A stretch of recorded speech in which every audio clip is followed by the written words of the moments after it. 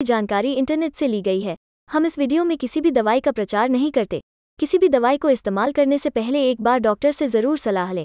अगर आप इस वीडियो को देखकर किसी दवा का उपयोग करते हैं और आपको कोई साइड इफ़ेक्ट होता है तो उसमें हमारी कोई ज़िम्मेदारी नहीं होगी। मैकेजोलिड 600 टैबलेट एक एंटीबायोटिक दवा है, जिसका उपयोग गंभीर बैक्टीरियल इन्फेक्शन के इलाज में किया जाता है।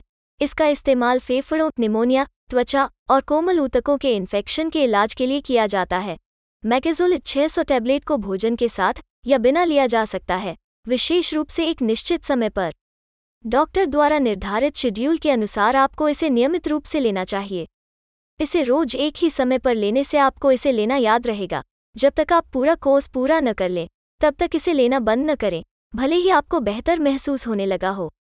अगर आप इस दवा को बहुत जल्दी लेना बंद कर देते हैं तो इन्फेक्शन वापस आ सकता है या खराब हो सकता है मैगेजुल 600 टैबलेट के सबसे सामान्य साइड इफ़ेक्ट में उल्टी, सिर दर्द, मिचली आना, रक्त कोशिकाओं की संख्या में कमी और डायरिया, दस्त शामिल हैं।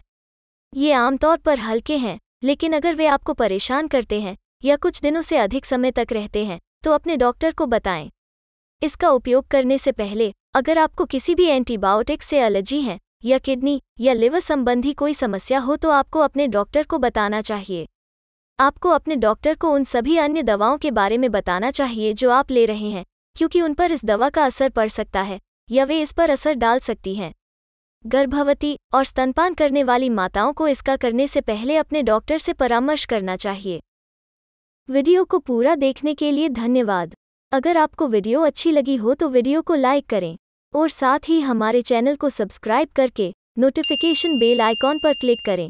और ऑल नोटिफिकेशन को क्लिक करें। धन्यवाद।